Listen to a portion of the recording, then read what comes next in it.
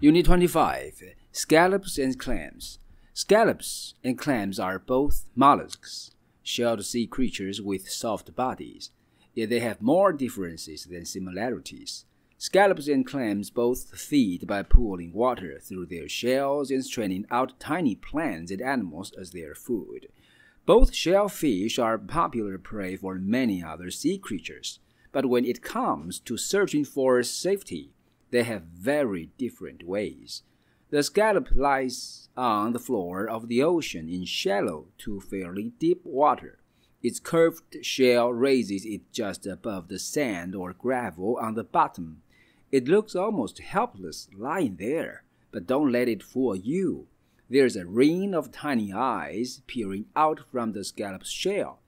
At the first sign of an enemy, the scallop takes off, swimming by jetting spurts of water out behind it is a very fast swimmer. Any clam that dared to lie in full view on the ocean floor would quickly be eaten. Clams make a tasty meal for starfish, crabs, or carnivorous snails. They move very slowly and cannot swim at all. They find safety by burrowing deep into the mud or sand. Their long necks stretch like periscopes up to the top of the sand.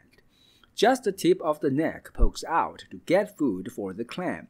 If anything comes near, the neck can quickly be pulled back within the shell. The clam stays safe below the surface, two or three feet down.